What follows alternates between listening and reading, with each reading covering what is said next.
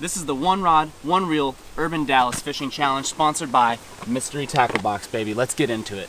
So we found ourselves out here in urban Dallas with just one reel, SLX DC, pumped to throw this with a two-piece travel rod and our mystery tackle box. This is this month's mystery tackle box. We're about to have some fun throwing a couple baits minus the pliers. I threw those in there. We've got the EXO ribbon worms, perfect for your Texas rigs.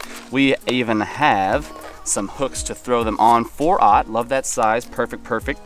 We also have some big bite baits. looks like swim baits. They're like a black and blue color. That could go good in this pond. You might even, you could even do these weightless Texas rigged, or you could add a weight. You could throw these on a jig head. You could do a weighted belly hook. Lots of options with these guys right here to get them swimming, just depending on what the depth is that you need. You can vary up the weight accordingly. Then we've got some craws. These guys can make really good finesse. You might throw these guys on like a, uh, a Ned rig. I would do just like a little mushroom head jig with these guys, and I think you could have some luck. Also, you could throw them on a finesse jig uh, if you match the colors, which might be a little tricky. So throw it on a finesse jig and have some luck. There even is a jig in today's box. This is the bankroll jig, 3 8 ounce, and uh, looks pretty good. Black and blue, definitely a staple. Black and blue, you'll throw in those stained waters. Normally go with something more natural for those crystal clear waters. That's just kind of like the, the go-to at first. I tend to not care as much about that. I will throw either or in clear or stained water. But looking at the pond from here, it doesn't look crystal clear. We'll see what's in store for us, but we have that jig as well as this guy right here. Never thrown this, Bagley Balsa Wake 1. This is a Mystery Tackle Box exclusive, and I love Mystery Tackle Box for identifying new lures that I would have never picked up at the store and given new stuff a try, end up falling in love with it, and then buying more of these lures after the fact. So this guy dives um, up to one foot, I believe it says, so he's a shallow diver. And we have this Yappa frog. It's almost like a, look at that big lip right there for big pops on that water at the top and it looks like the legs are trimmed down a little bit shorter than some of these other frogs you might buy from the store. Uh, this thing looks pretty cool. It's got an interesting color. I'm pretty stoked to throw this. We might not have any luck right now being 11-11 on this fine Tuesday afternoon, but let's see what we can do with our uh, one setup here and tie a couple different things on. And this one's gonna be a challenge. All I have is fluorocarbon line. This is a top water lure. The density of that fluorocarbon allows it to sink, so we're gonna see how this stuff works out. And uh, maybe the bite is on today. Maybe nobody wants to bite. We're gonna see what happens. Let's get after it. Okay, now as bad as I want to just get to fishing like you guys probably want to see, I've got to put everything together. So we'll get these things rigged up. Two-piece Flair rod. What is this, a 7.2, 7.2 medium heavy? Fantastic, that's all we need right there. Look at those matching colors. Wow, stunning. Catch some mondos. So this is the number one step whenever you put a, a reel on a new rod, is going through this eyelet right here. If you don't go through that eyelet, what's going to happen is as you're reeling your line back in and you've casted, the line is just going to go on one spot of the spool. It's all going to be on the right side or the left side because if you go through that eyelet right there, that's what keeps it um, dispersed across that spool evenly as you bring the line back in. So make sure you do that when you're setting your reels up on your on your rods and let's go ahead and go through each individual eyelet and I'm thinking we'll tie on that crankbait that moving bait first and then I'm real excited to uh, throw a Texas rig with that EXO ribbon worm and those hooks and then we will go from there you know kind of start off with the confidence baits uh, for me crankbaits have always been good especially those lighter colors that I feel like really have that shimmer and shine as they swim through the water it's going to be a, a, uh, good old time because I love this box. It's got a top water. It really has all bases loaded. I'm just thinking to myself, if they don't hit this one moving bait, you know, you might not, if, if you can't catch anything on this right here, you probably won't get a bite on the chatterbait. You probably won't get a bite on things of that nature because, uh, you know, sometimes they're just looking down. They're, they're, they're down on the bottom. They're not looking up towards the surface where this guy's going to be, you know, only diving up to one foot in depth and, uh, and wanting to go after that meal on the move. They might be in the slow moving type of mood. So you got to finesse with that Texas rig. Last thing, real quick, I actually have some new weights that just got shipped in from Woo Tungsten. Love their weights. I'm going to go ahead and try and find a quarter ounce or what is this? Never chip eighth ounce. That, that could work, but it's pretty windy today. I might need a, something a little bit heavier. Bam, quarter ounce. I think that's going to be the appropriate weight today to get me going down despite that wind, but then also nothing too crazy heavy because I think this is a shallow pond. We'll put this in our mystery tackle box and we're gonna utilize those hooks and exo ribbons with these weights right here. We just have literally the one little mystery tackle box on us and we've got our one rod and reel. It's something a little bit different than I normally do, so I'm ready to have fun. I'm traveling light today. Y'all know I normally have my big old honking tackle backpack on. I have normally got a bunch of rigs. I'm talking about four or five combos in my hand and uh, I get it done. But today's a little bit different. Look at this spot. Mm, extra juicy. There's kind of like a an inlet. Sometimes water flows down that and the fish will hang out over there. We got a point over here and there's even some shade for me to fish from. Man, all right, let's get this thing in the water. Let's get this crank moving. This crank is barely going subsurface. So what I'm gonna do, I'm gonna tell you a little secret. Cast along the bank. And what I'm gonna do is I'm gonna sink the rod tip down into the water. I've got that fluorocarbon line that's gonna sink. Now I don't even see this lure anymore. It's now subsurface. So it's gonna be down a little bit lower in the water column where I think we might that bite.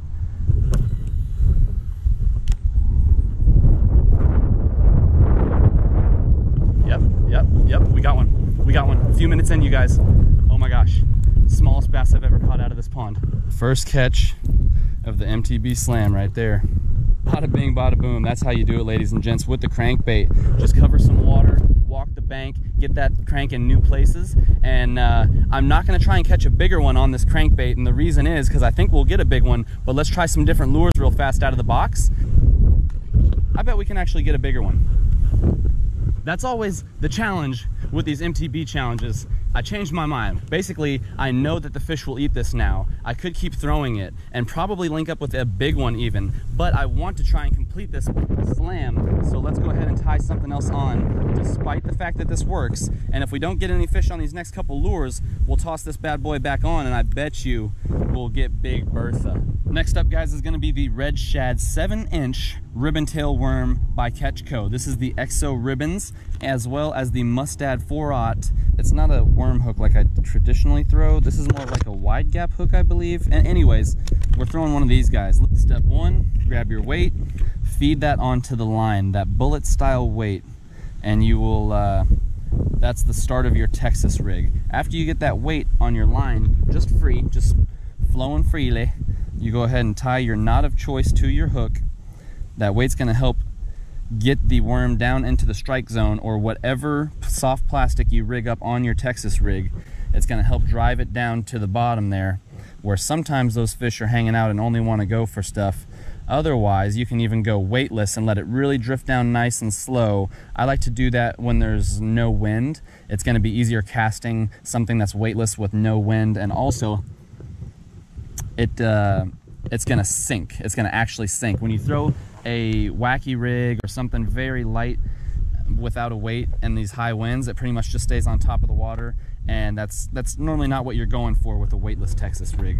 Typically, when you're swimming it through the water or even bouncing it along the bottom, the hook is going to be in this orientation right here, meaning if you want your plastic to be right side up, if you want like, like let's say this worm, we wanted the red to be like the belly or the underside, which I think is how this is designed, you would put the red or that bottom side towards the hook when you start your Texas rig. This is something I don't hear a lot of people talking about too often, but like sometimes you want a certain color to be on top and a certain color to be on bottom, right? That lighter flash maybe on the bottom so they look up and see it, that darker color on the top.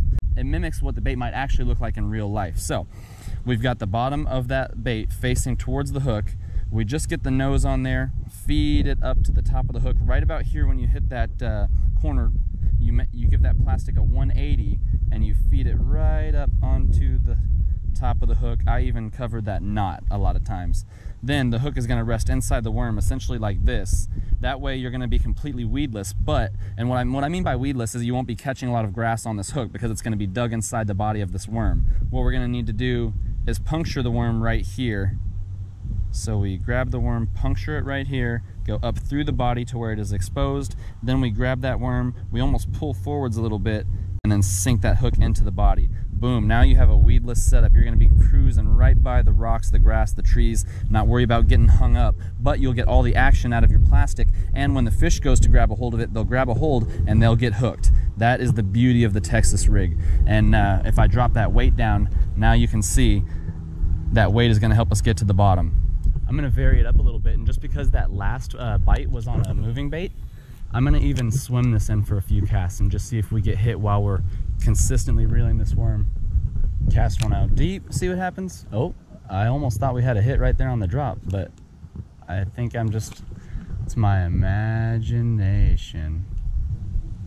Oh, got smacked right here by the bank. Oh my gosh, they like the moving stuff, you guys. Let's cast it back out there and just swim it right up to the bank. Wow. Come on, baby, grab hold. We got to get a good fight for YouTube right here. Come on. Oh, I casted onto the bank over there.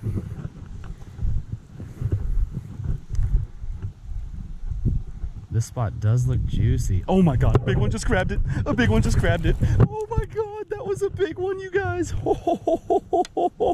Oh, I really did not set the hook. We were just swimming them slow right along the bank. Oh my gosh, that, that's why I didn't get him. I didn't set the hook. I was excited. And by the time he started digging with it, and I thought he was hooked good at that point anyways. So that's why I didn't try and like give him a little slack and then almost reset the hook, if you will. Oh. Just got hit again. And I told myself I'm not missing the hook set. So I set the hook and I missed the fish. There he, oh, fudge. Okay, this is getting ridiculous. Come on, man, grab it, grab it. No, no.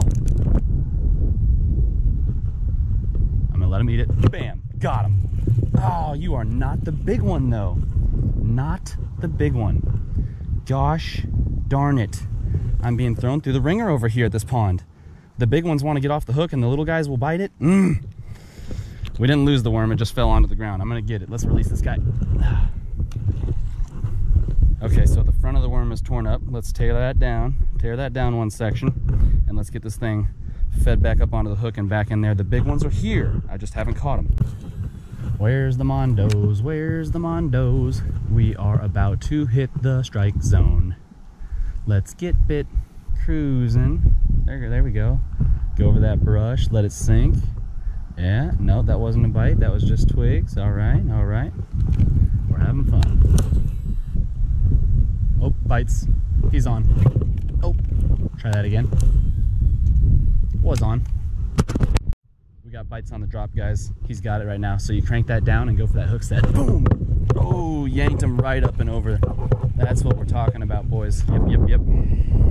All right, y'all, we got him back in the water. Now we are gonna tie on the black and blue jig with one of my favorite jig trailers. This is gonna be the Googan Baits Krackin' Craw in black and blue flake to kind of go with that jig. Match that's right there. And then we've got a Wasabi GoPro battery. I usually buy these on Amazon. There's like a three pack plus a triple charger for real cheap. And that way you've just got a bunch of batteries on you and they work just as good as the GoPro ones. And uh, now we're rigged up and ready to go for another sesh. Let's go ahead and switch you guys over to the GoPro right now. And I'm actually, I got to put it on that looping mode. That's what I like, five minute intervals. All right, 4K, 24 frames a second. Let's get to fishing this jig. Now next up, depending on how long the hook is on your jig or how long the skirt is, depends on if I'm gonna throw the whole Krackin' Craw or rip a section off. I think one section might actually do the trick. Now you'll see as we let this thing hang, the skirt's not really gonna interfere with the action from these claws and that's what you want. Yet the claws aren't hanging way down here because we have an extra section on. So this is just about perfect. Definitely the heaviest lure we've thrown. There would be no problem casting this thing all the way across this pond.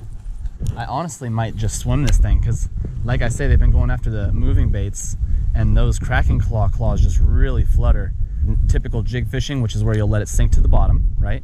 Let it sink to the bottom, make sure you don't have any slack, then give it a few pops. That's like how I typically fish it, almost like a just like a Texas rig. And then you'll get those hits when a bass comes up and grabs it off the bottom. But today they've kind of proven they like it moving so we'll give it that consistent reel and we'll see if it can attract a big fish oh a little bass just creeped up there he is there he is that's a decent one that's a good one there we go there we go the jig's gonna bring in the bigs boys that's what i'm talking about mystery tackle box hooking us up with a solid jig that we didn't even have to pop on the bottom today. You can, uh, once again, identify how these fish are eating and what they're biting. What are you doing, kid? What are you doing, Daniel? All right, let me just, um, hmm, biggest fails of all time. Okay, I was just giving that a consistent reel and those uh, little claws were fluttering and he swam right up to it and smacked it. That's not two pounds, but that's definitely a healthy fat pound and a quarter, I would say. Let's get a, uh, should we get a smooth release? We've been throwing them all back in the water. What happens if I just ease him back on in? This guy's gonna be a bucking bronco. I already know, he's already, he's ready to go. He's ready to go. Oh, slow and steady wins the race. I was just about to say, that's enough of the jig. I'm gonna put it down, and then I realized I still have these. I totally forgot about these. So I'm gonna put this on the jig and throw it swimming and see if we can't get one. I don't know why I didn't do that from the start. It's because I love the Krackin' Craws so much and they work, but this guy right here should do well also. Guys, look at that thing right there. I don't know if this is like a hybrid. I'm not the best with understanding the jig heads myself. Uh, it could be like a swim jig essentially or a hybrid because it has that tapered head which I think can cut through the water. But then also it's got a, like a flat side right there, right? So you can see you'd be able to pop him along the bottom. And uh, so it's kind of a toss up on I'm just gonna use this jig as a swim jig today because I think I'm gonna shorten the swim bait down a little bit. Other than that, I think this thing is good to go. It looks pretty sick. There we go. I'm no rocket scientist, but this thing looks like it should get eaten. Let me check this presentation real quick, see how it swims. How's that tail doing? Oh yeah, it flutters. Oh yeah, this is this is golden. That's a sure catch. What's up here? Maybe they want to hit this thing on the top pond. Oh, we just had a bite. Oh, just, just got him, got him. Oh, there we go. Oh no. Still got a couple more lures to go through guys, but I have to run, so maybe I can finish this video a little bit later today. Left the last pond and about an hour later we find ourselves at another little honey hole, you guys. We've got the same swim jig tied on and we are gonna cast right here. This water is crystal clear. I don't know if they'll hit that black and blue, but we're about to find out. So let's go ahead and cast in here. First cast at the second pond I see a big bass. Where did he go? That was a two to three pounder. See him. Oh. Here we go. Oh, this one's on it. This one's swimming after it. Yeah, they're, they're everywhere. They're just hanging out. This one's big. Oh, that one's big. They don't want this. Damn, what can I tie on? They're like all here. A big one just chased all the way up to the bank. All right guys, so here's what we've done. We've got some 10th ounce jig heads. These are just mushroom jig heads, essentially for like a Ned rig, and that's exactly what we did. We kind of put these little craws that came in the MTB box on one of those hooks right there, and we're gonna see if this little finesse setup can't get these big guys' attention. I'm gonna chunk this in there a few times and see what happens. Oh, here's one. Oh, oh, we got, oh, oh, we got a fish right off the bat. We got a fish as soon as it hit the water. Wow. Okay, all right. We'll take that as soon as it hit the water. Dang, you just gotta find what they want. And the other one I think was on his way over to it. I literally, I saw one, I cast it, I was like, oh, there's one. And, and, and I was waiting for him to swim over to it. I was gonna inch this craw over to his face. And this guy grabbed it before I could even think. And I'm like, my line's moving. Ooh, I got one. I thought it was a bluegill or something, but no, full size. Awesome.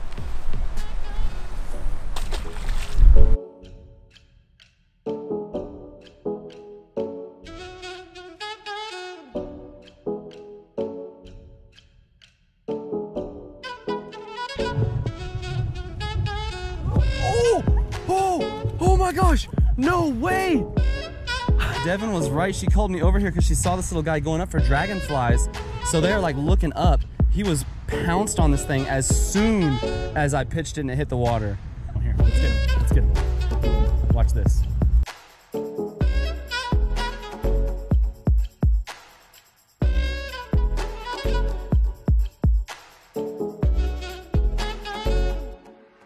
All right, guys, you saw us catch fish on the Bagley Balsa Wake. That crank that we threw right off the bat had a catch, and then we had that big one even wake up to it over here at the second pond. We also had the Yappa frog that we didn't break out. Uh, I just don't think that coming out here midday is going to get it done with that frog, especially with fluorocarbon line. But trust me, throw that on some braid and you will get some catches. We have the Biospawn Exo Ribbon Worm where we caught that good one. The Big Bite Baits Cane Thumper, that's that blue swim bait that we put on the jig. And we didn't have anything chase it here. We did have that fish on at the last pond at that second spot there at the top of the hill, but he came off. So almost landed a fish on that. We had the bankroll jig, which we used that Krackin' Craw with. We also had the little Z-Man crawls. This was the last thing we threw. We got multiple fish on this thing. We're just switching it up right now. We're kind of in that transition. We're throwing fall finesse. And then we also had that wire hook that we used the exo ribbon on. So literally we caught a fish on everything out of the box except for the top water, which we might be able to capitalize on this evening. Otherwise, that is going to wrap up this video. Uh, we had a fish on on the swim bait, couldn't secure him with that jig, but that's okay. We'll catch you guys on the next one. Thank you so much for watching. Peace out.